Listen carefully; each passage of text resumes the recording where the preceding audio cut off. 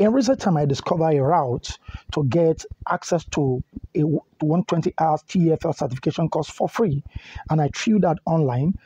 I'm happy to announce to you that by now I have two people who has already gone through the course and at present have their certificate issued to them. You want to learn more on how to get it? Now, what's the advantage? Is the key to international travel and some other thing. Check it out now. Thank you.